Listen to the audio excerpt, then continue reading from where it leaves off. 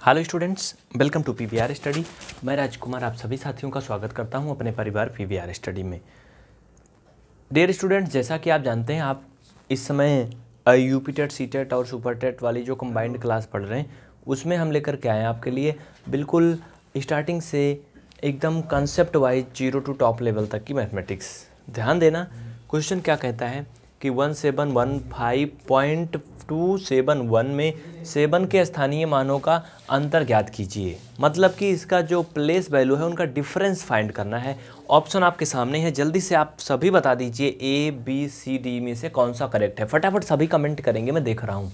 चलो, जल्दी करो। जितने भी स्टूडेंट्स इसको यूट्यूब या फेसबुक पर डेमो के रूप में देख रहे हैं, वो चैनल को सब्सक्राइब ज़रूर करें। चलिए। देखिए, सबसे पहले हम बात करते हैं प्लेस वैल्यू क्या होता है, स्थानीय मान। सिंपल नंबर का पहले देखिए, चूँकि इसमें डेसिमल लगा है, इसलिए थोड़ा हार्ड है। मतलब थोड़ा। देखो, जैसे अगर मैं नंबर लिखा टू थ्री टू इसमें अगर मैं बात करूँ मान लो कि इतना हो गया, इसमें इस वाले टू का प्लेस वैल्यू की बात करूँ तो क्या करेंगे हम? पहले वो नंबर लिख लेते हैं जिसका प्लेस वैल्यू करना है, फिर गुड़ा का चिन्ह लगा करके वन लिख लेते हैं। ये होता है सिंपल में, जब दशमलव ना लगा हो गिनती में तब। लेकिन ये अभी उत्तर नहीं हो गया, देखते जाओ आगे। उसके बाद हम ये काउंट करते हैं कि उस नंबर के राइट साइड दाहिनी ओर कितने अंक हैं? हमें दिख रहे हैं एक, दो। दो अंक है ना? तो जितने अंक होते हैं, उतना शून्य इसमें लगा देते हैं। बस, इतना करना होता है। मल्टीपल कर लेंगे, इस तरह से इसका जो स्थानीय मान है 200 हो गया। इस तरह से अगर हम बात करें इस नंबर तीन के स्थानीय मान की तो आप इस नंबर को लिखोगे थ्री इंटू वन उसके बाद इसमें भी वही प्रक्रिया चलेगी। तो थ्री के बाद हम देख रहे हैं, एक, दो, तीन गिनती है। तो यहाँ पे तीन ज़ीरो लग जाएगा, इसलिए इसका प्लेस वैल्यू थ्री थाउज़ेंड आएगा। इसी तरह से आप इसका भी निकाल सकते हो। दो के बाद चार ज़ीरो आएगा, बीस हज़ार आएगा। आप नौ का निकालोगे तो सिर्फ़ नब्बे आएगा। सेवन का निकालोगे लास्ट वाले नंबर का तो ये सेवन इंटू वन और इधर कोई गिनती कुछ नहीं है तो ये साथ ही रहेगा। ये होता है प्लेस वैल्यू जब नंबर सिंपल फॉर्म में दिए गए हों। ठीक है? इतना समझ में आया, इसमें किसी को कोई डाउट नहीं होना चाहिए। चलिए क्लास इंड तक देखना, आपसे हमारा निवेदन है रिक्वेस्ट है, जो भी समझिए आप। अगर पूरा इंड तक देखेंगे तो समझाने की सौ प्रतिशत गारंटी है। मैथ नहीं आता, बिल्कुल टेंशन नहीं लेना। TET C TET super TET या कोई भी कंपटीशन आप दे रहे हो, आपको बिल्कुल एकदम क्लियर हो जाएगा। देखिए कंपटीशन के लिए आप लोग चाहते हैं कि ट्रिक चाहिए ना, भैया, क्योंकि टाइम कम रहता है। लेकिन ये जान लो, अगर आपको कॉन्सेप्ट नहीं आते तो कोई भी ट्रिक आपकी काम नहीं देने वाली है। देखो इधर अब डेसिमल वाले में क्या करते हैं? जैसे इसमें है मान लो हम एक दूसरा एग्ज़ाम्पल लेते हैं। Three point two seven nine अब अगर इसमें हमें टू का प्लेस वैल्यू बताना है तो कैसे करेंगे? इसमें उल्टा होता है। उल्टा मतलब आ, बहुत ही अच्छे से मैं इसको समझा दे रहा हूँ। देखो इधर साइड में थर्टी टू सेवेंटी नाइन मैंने लिया था ना? देखो डिफरेंस समझ लो। थर्टी टू सेवेंटी नाइन मैंने लिया था। ये देखो इधर। आ, ये हाँ यहाँ पे। थर्टी टू सेवेंटी नाइन ना? यहाँ पर भी मैंने लिया था थर्टी टू सेवेंटी नाइन। यहाँ पर यहाँ डेसिमल लगा था, ठीक है? अब समझते जाओ, दोनों में अंतर क्या होता है? दशमलव वाली संख्या में और बिना दशमलव वाली में बहुत ही आसान है। इसमें अगर दो का स्थानीय मान कहेंगे तो आप कर लोगे प्लेस वैल्यू। वेरी सिंपल है, क्योंकि टू इंटू वन और इसके बाद में दो गिनती है तो हम दो ज़ीरो लगा देंगे। आप कहोगे इसका प्लेस वैल्यू दो सौ होगा। लेकिन अगर डेसिमल वाली गिनती में हम इसी टू का नाम प्लेस वैल्यू फाइंड करें तो क्या होगा? देखो, इसमें भी आप ऐसे ही करोगे टू, लेकिन इसमें थोड़ा बदल जाएगा। बदल क्या जाएगा? उसमें इनटू आप क्या करते थे? वन करते थे, बाद में शून्य लगाते थे ना? इसमें भी आप करोगे, लेकिन बच्चा इसमें वन अपान वन करोगे। ठीक है, याद रहे, ये दशमलव की अगर बाद वाली गिनती है तो वन अपान वन करोगे। उसके बाद क्या करोगे? फिर आप क्या करते थे? इधर साइड गिनते थे, कितनी गिनती है, उतने ज़ीरो लगाते थे ना। इसमें ऐसा नहीं करोगे। इसमें दशम इस गिनती जो भी यानी टू है, उसके पहले कितने अंक हैं और दशमलव के बाद? आप कहोगे तीन है, लेकिन तीन तो भैया दशमलव के इधर है ना। दशमलव के उधर होना चाहिए। तो आप देखो यहाँ कोई भी अंक नहीं है ना। कोई भी अंक नहीं सिंगल अंक, कुछ भी नहीं है। तो अगर कुछ भी नहीं होता, फिर भी इसमें एक ज़ीरो क्या करते हैं? नीचे लगा देते हैं। अगर कुछ नहीं होता, तब। अभी आगे समझना भागना नहीं टेंशन ना लेना। तो इस तरह से इसका प्लेस वैल्यू हो जाएगा। भाई आ, सिंपल में इसे हम लिख सकते हैं टू अपान टेन अरे गुड़ा कर लोगे ना? लिख सकते हैं। नीचे एक ज़ीरो है। इस तरह से फाइनल में हम इसे लिख सकते हैं ज़ीरो पॉइंट टू ये क्या हो जाएगा इसका प्लेस वैल्यू है ना भैया यही हो जाएगा ना। इसमें किसी को कोई डाउट है? नहीं ना? चलो आगे बढ़ते हैं। अब यहाँ पे ध्यान देना, इसी तरह से अगर हम एक नंबर और ले चलें, मान लो जैसे इसमें सात की अगर बात करें, सात के पहले तो एक ज़ीरो है। तो एक ज़ीरो है तो आप दो दशमलव, दो ज़ीरो बढ़ाओगे, दो ज़ीरो बढ़ा के गुड़ा करोगे। समझे ना? देखो जैसे मान लो इसी में थोड़ा चेंजिंग कर दें हम। इधर साइड आप ध्यान दीजिए। देखो, अभी इसको आप लोग भाई छापने की कोशिश मत करो। सिर्फ़ और सिर्फ़ समझने की कोशिश करिए। अगर आप समझ जाएँगे तो छापना कोई बड़ी बात नहीं, आप लिख सकते हैं, खुद से कर सकते हैं। देखिए अगर मान लीजिए कि हमने यहाँ डेसिमल कर दिया अब इसमें सेवन का प्लेस वैल्यू फाइंड करना है तो कैसे करेंगे स्थानीय मान? ध्यान देना। हमें सात का निकालना है तो हम क्या करेंगे? सात लिखेंगे गुड़ा चूँकि ये गिनती जो है दशमलव के बाद में है जिसका निकालना है। तो इसमें हम वन अपान वन लिखेंगे ये बात मत भूलना। हाँ? अब हमें क्या देखना है? आ, यार ये थोड़ा सा मैंने जो किया ना ये थोड़ा सा और अलग होना चाहिए था क्योंकि ये फिर वैसे जैसे बन गया। उसी जैसे बन गया ना। आ, हम इसको ऐसे करने वाले थे। दशमलव यहीं रहने दो। हाँ ठीक है। अब अब समझ में आएगा। दशमलव यहीं रहने दो जो मैं बताने वाला था चूँकि अलग तरह हो जाए ना नहीं तो ऐसे तो भी मैं पहले सवाल भी किया हूँ। ये ऐसे। तो इतना हो गया इतना समय करोगे। फिर आप ये देखोगे कि जो डेसिमल लगा है और जो गिनती का प्लेस वैल्यू निकाल रहे हो यानी ये गिनती और वो डेसिमल इन दोनों के बीच में कितनी गिनती है? आपको ये देखना है। और इस गिनती को भी हमें काउंट करना है। वन एंड टू टू है ना? कितना है? टू है? बोलो, है ना? तो आप क्या करोगे? ऐसे समझ के आप ये मान लो कि हमें क्या करना है? टू ज़ीरो लगा देना है। कितना लगा देना भैया? Two zero. अगर इसको ना काउंट करो तो वन गिनती पर मिलती है तो आप दो ज़ीरो, लेकिन तब भी लगाओगे, याद रहे। तो ऐसे इसको समझ लो शॉर्टकट में कि हमें उस गिनती को भी गिनना है, यानी सेवन एंड टू। उसके बाद तो कोई नहीं है ना? हाँ तीन है, लेकिन दशमलव के बाद है। दशमलव के पहले होनी चाहिए। तो इस तरह से क्या करोगे? यहाँ पे दो ज़ीरो बढ़ाओगे। तो आपका सात बटा सौ हो जाएगा। फाइनल में ज़ीरो पॉइंट ज़ीरो सेवन आएगा, इसको जब भाग करोगे। ये उसका प्लेस वैल्यू है, ठीक है? समझ में आ गई ना सारी? कन्फ्यूज़न दूर हो गई। अब इनका तो आप कर ही ले जाओगे। देखिए, जो दशमलव के पहले नंबर होते हैं, वो पूर्ण संख्याएँ होती हैं। और जो दशमलव के बाद होती हैं, वो पूर्ण संख्या नहीं होती। वो अपूर्ण संख्याएँ होती हैं। तो अपूर्ण संख्याओं का प्लेस वैल्यू करने का तरीका थोड़ा अलग होता है। ठीक है? अब देखिए, समझने की कोशिश करिए। जो हमारे पास सवाल दिया गया है, उसके ऑप्शन नंबर डी सही है। कैसे? इसमें कह रहा है, सात के मान का जो स्थानीय मान है, उसका अंतर बताइए प्लेस वैल्यू का। तो देखो, इसमें सिंपल है। अंतर तभी बता पाओगे जब आप दोनों के साथ का स्थानीय मान निकाल पाओगे। देखो मान लो one seven one five point two seven one है। हाँ एक बात याद रखना, इसको आप एक हज़ार सात सौ पंद्रह पढ़ सकते हैं, लेकिन इसको फिर दशमलव दो सौ इकहत्तर कभी नहीं पढ़ना, नहीं तो गलत है।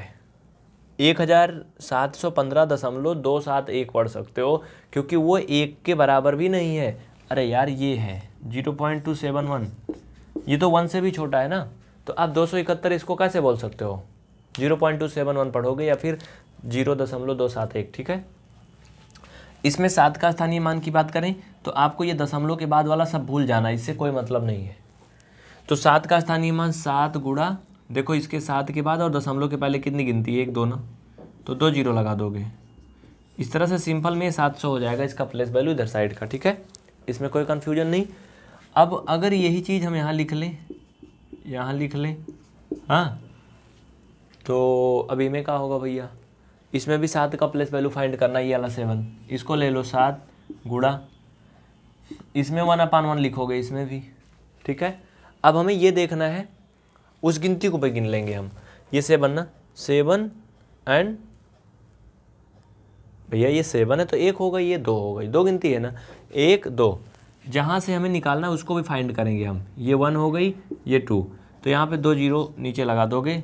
इस तरह से सात बटा सौ बराबर वही दो अंक पे दशमलव आ जाएगा।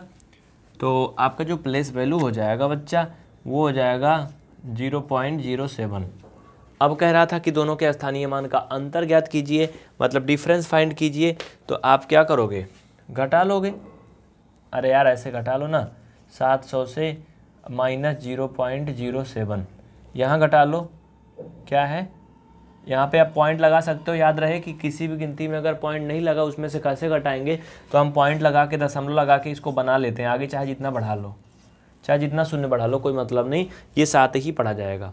ठीक है? यहाँ दशमलव लगाओगे। दशमलव के पहले ज़ीरो है, इधर साइड ज़ीरो सेवन है। अब इनको हमें क्या करना है? घटा लेना बस, हो गया जो नंबर मैंने बताया डी वाला वही सही है। अब देखो, ये ज़ीरो से तो सेवन घटेगा नहीं। फिर ये ज़ीरो है, इसमें कुछ है नहीं। यहाँ भी ज़ीरो, यहाँ सब ज़ीरो है। कुछ नहीं, जहाँ जहाँ वहाँ आप ज़ीरो लिख सकते हो। ये उधार देगा इसको, फिर ये इसको इसको इसको जैसे घटाना आप जानते हो, इसमें तो कुछ बताना है नहीं यार। ये तीन आएगा, ये नौ आएगा पॉइंट ये नाइन नाइन सिक्स आएगा। सब ट्रेक करना सबको आता है, अब इसको मैं नहीं बताऊँगा। ठीक है? लिख लो ये आपका पहला सवाल है। जल्दी करिए, आप सभी लिख लीजिए, या फिर स्क्रीन ले लीजिए, चीज़ों को समझने की कोशिश करिए। इसमें कोई बड़ी बात नहीं है, ये बहुत ही आसान है। जल्दी करिए। देखिए, अगला दूसरा क्वेश्चन देखिए, ध्यान दीजिए। दूसरा क्वेश्चन क्या कह रहा है? बहुत ही ध्यान से समझना है। कह रहा कि fifty six four three one में छः के स्थानीय मान तथा चार के अंकित मान में डिफरेंस फाइंड करना है। तो बच्चा, स्थानीय मान और ये अंकित मान क्या होता है? आपको पता है, अंकित मान मतलब आप जान सकते हो प्रिंट प्राइस ऐसे, ठीक है? अंकित मान में कोई भी डिफरेंस नहीं होता है। जैसे अगर हम बोलें कि five six four three one इसमें बच्चा अगर किसी भी गिनती का अंकित मान बोलेंगे या फिर फेस वैल्यू बोलें तो वही गिनती होगी। जैसे अगर चार का अंकित मान बोलें तो चार का अंकित मान चार ही होगा। ठीक है? ये क्या है? अंकित मान है। अगर हम छः का अंकित मान बोलें तो छः होगा। पाँच का बोलें तो पाँच होगा। यानी फेस वैल्यू जो है, वो नहीं बदलती है। ठीक है? समझ में आया ना? हाँ इसे फेस वैल्यू इंग्लिश में बोलते हैं। अंकित मान हिंदी में बोलते हैं या फिर इसे जातीय मान भी बोलते हैं। क्या बोलते हैं बच्चा कहीं कहीं? जातीय मान तो याद रखना जातीय मान या फिर अंकित मान ये वही गिनती होती, बदलता नहीं है, लेकिन स्थानीय मान अलग होता है। तो छः का स्थानीय मान पूछा है तो हम क्या करेंगे? छः गुड़ा वन, और देखो छः के बाद तीन गिनती हैं, इसलिए आप तीन सुनना लगाओगे बच्चा तो इस तरह से छः हज़ार आएगा। कह रहा था कि स्थानीय मान और अंकित मान में क्या अंतर है? भैया, सिंपल सा, इसमें से चार घटा दो बाबू। तो चार घटा दोगे, पाँच हज़ार नौ सौ छियानबे आएगा। यानी कि ऑप्शन नंबर आपका डी वाला सही है। है ना कितना आसान?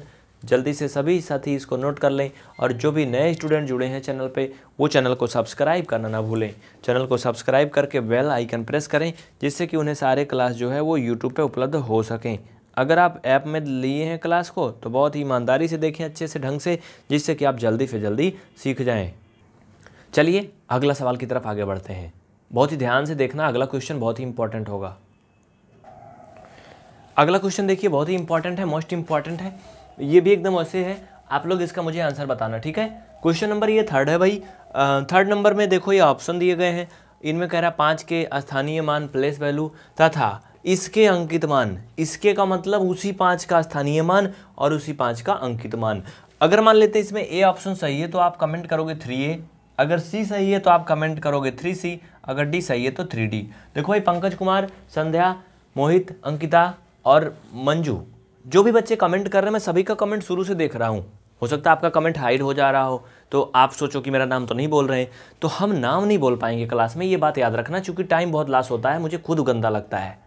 कि मतलब नाम बोलते हैं, फिर आप लोग और बातचीत करते हो, फिर टाइम बहुत बर्बाद हो जाता है यार। इसलिए पढ़ाई कर लो ईमानदारी से।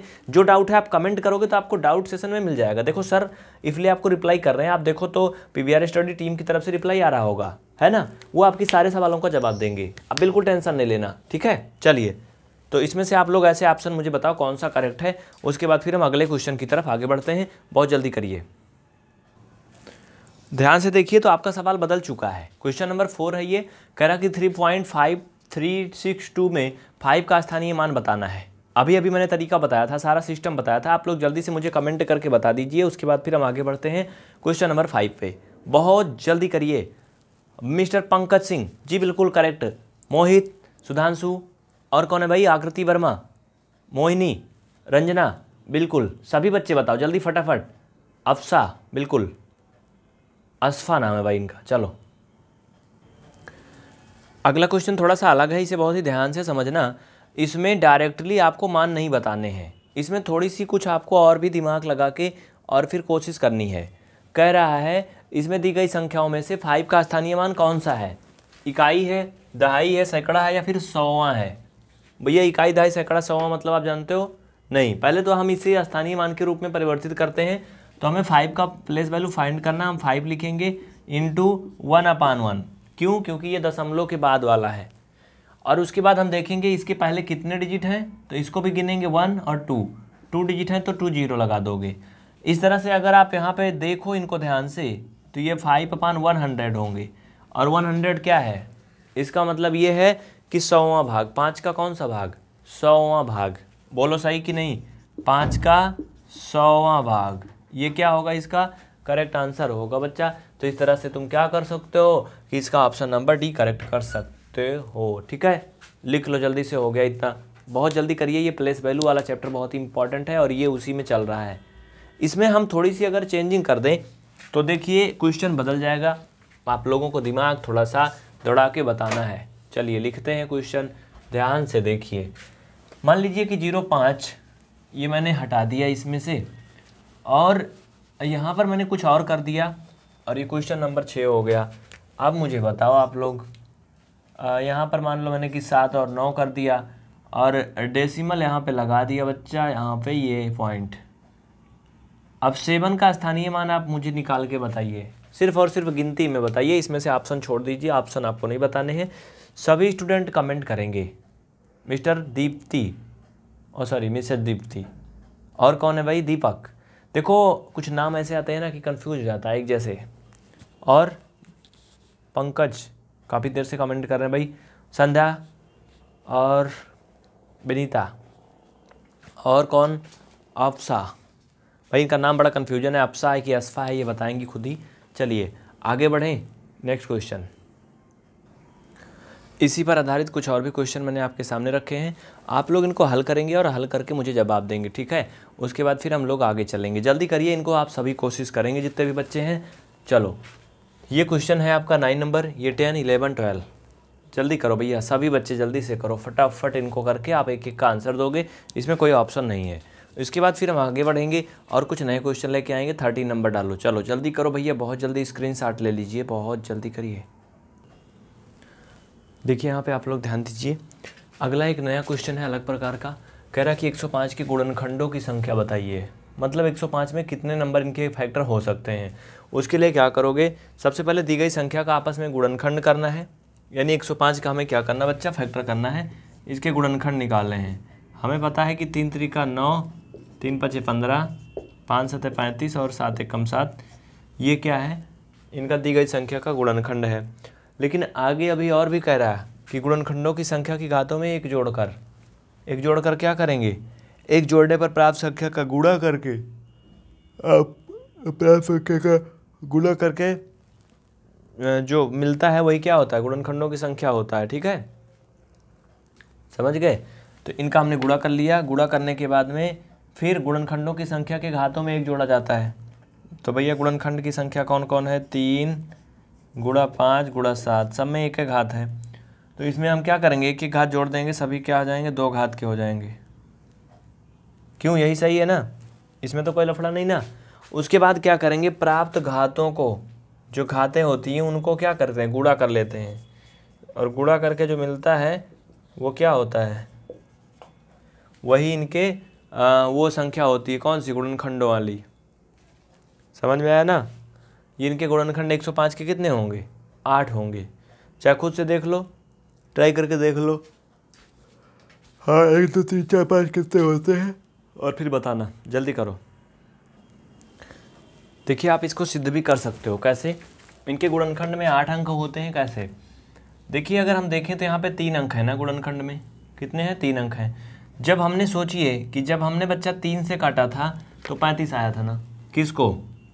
105 को। है ना? पैंतीस आया था ना? आया था?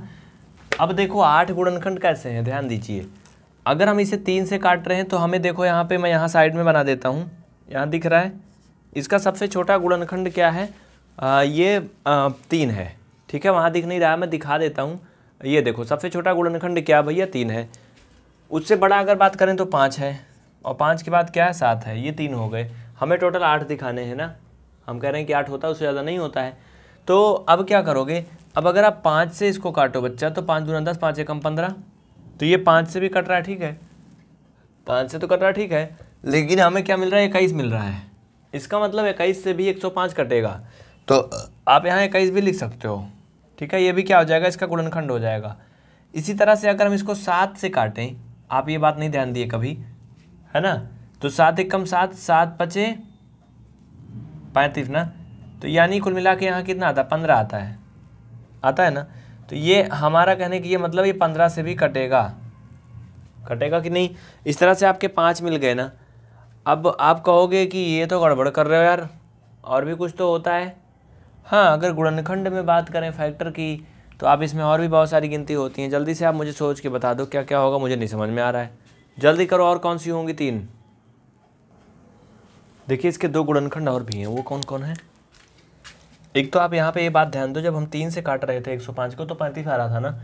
तो भैया यहाँ पैंतीस भी इसका क्या है गुणनखंड है? इस तरह से आपके ये छः हो गए ना? एक हर एक संख्या का गुणनखंड होता है और कोई भी संख्या स्वयं का भी गुणनखंड होती है। होती कि नहीं? ठीक है? तो ये आप बताओ मुझे सही लग रहा है गलत लग रहा है? यार गुणनखंड में कोई संख्या स्वयं का गुणनखंड होती है क्या? आ, मतलब जैसे चार बराबर अगर बोला जाए गुणनखंड करिए इनके तो क्या तुम इसको दो गुड़े दो गुड़े चार भी कर सकते हो क्या? हमारे समझ से तो ये नहीं कन्फ्यूज़न है। एक मिनट रुक जाओ मैं इसको क्लियर करता हूँ ठीक है? चलो जल्दी से। तो ये क्या होगा? इसका गुणनखंड नहीं होगा तो इस तरह से आपके ये सामने हैं जो भी हैं। चलिए इसमें कोई भी डाउट की बात नहीं है। आ, कुल मिला के इसके आठ गुणनखंड हैं। ये तो जो थे वो हो गए। दूसरा नंबर हर संख्या जो है वन हर एक संख्या का गुणनखंड है, प्लस जिस संख्या का हम निकाल रहे हैं 105 वो भी खुद का गुणनखंड होती है, फैक्टर। इस तरह से आपके आठ नंबर हो गए, आप इनको गिन लीजिए, प्रूव हो गया। है ना? कितना आसान, सिंपल सा, नोट कर लीजिए जल्दी से, फिर हम अगले क्वेश्चन की तरफ़ आगे बढ़ते हैं, बहुत जल्दी करिए।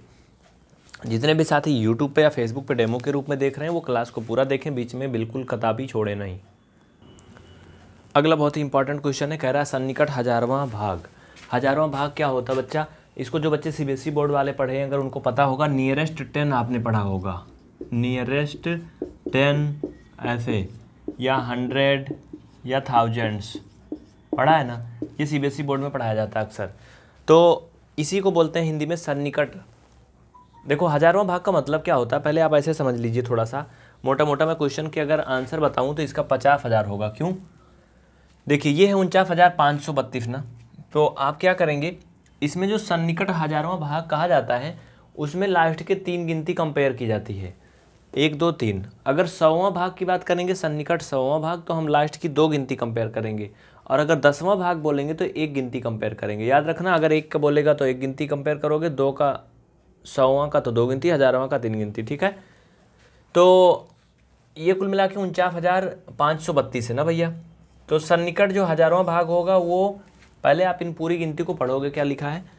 उनचास हज़ार पाँच सौ बत्तीस लिखा है। कितना है? उनचास हज़ार। तो जितना हज़ार हो रहा है, उसको पहले आप लिख लोगे। उनचास हज़ार पाँच सौ बत्तीस है ना? और उनचास हज़ार के बाद क्या आएगा? अगर हम हज़ार हज़ार काउंट करें तो? उनचास हज़ार के बाद पचास हज़ार, इक्यावन हज़ार, बावन हज़ार, ऐसे आएगा ना? तो यानी कि उनचास हज़ार के बाद अगर एक हज़ार के उसमें काउंट करोगे, आप तो पचास हज़ार होगा। यानी हमारे जो सन्निकट मान है, या तो उनचास हज़ार होगा, या तो पचास हज़ार होगा। अब आपको एक चीज़ करना है। देखो यहाँ पर उनचास हज़ार पाँच सौ बत्तीस है। यहाँ पर ये तीनों गिनती से आपको ये कंपेयर करना है कि जो ये गिनती है बीच में, ये तीन गिनती वाली हम कंपेयर कर रहे हैं तो ये पाँच सौ या फिर पाँच सौ से प्लस होंगी अगर तो ये कितने पास होंगी? पचास हज़ार के ज़्यादा पास होंगी। क्यों? क्योंकि भैया ये उनचास हज़ार है ही पचास हज़ार है। आपको पता है उनचास हज़ार पाँच सौ जो होगा, बीचों बीच पे होगा ना। अरे भाई सिंपल सी बात है, ये उनचास हज़ार है, ये पचास हज़ार है तो साढ़े उनचास हज़ार बीचों बीच पे होगा ना? बीचों बीच पे होगा। लेकिन ये उनचास हज़ार पाँच सौ से भी ज़्यादा है, बत्तीस ज़्यादा है। यानी बत्तीस ज़्यादा होगी तो किधर को भागेगी? इधर को ना? तो किसके करीब रहेगी ये? उनचास हज़ार के करीब रहेगी या पचास हज़ार के? तो भैया, ये गिनती उनचास हज़ार के इससे ज़्यादा दूर रहेगी, पचास हज़ार के ज़्यादा पास रहेगी, ठीक है? क्यों? क्योंकि ये क्या है, पाँच सौ बत्तीस है, पाँच सौ से ज़्यादा है। अच्छा इसको गैस करो। अगर ये तीन सौ बत्तीस होता तो क्या होता? देखो बच्चा, अगर तीन सौ बत्तीस होता तो ये ज़्यादा पास किसके होता तब तो ये ज़्यादा पास उस नंबर के होता, कौन से? उनचास हज़ार के ज़्यादा पास होता, है ना? उनचास हज़ार के ज़्यादा पास होता, क्यों होता ऐसा? ऐसा इसीलिए होता क्योंकि ये देखो तीन सौ है बत्तीस, यानी ये साढ़े उनचास हज़ार से भी कम है। साढ़े उनचास हज़ार जो है वो ये पचास हज़ार और उनचास हज़ार के बीचों बीच में पड़ता तो ये तीन सौ है, पाँच सौ भी पूरा नहीं है तो ये इधर साइड होता ना? तो इसका उत्तर उनचास हज़ार होता, ठीक है? अगर ये उनचास हज़ार पाँच सौ है, तब भी इसका नियरेस्ट जो थाउज़ेंड है, वो पचास हज़ार होगा।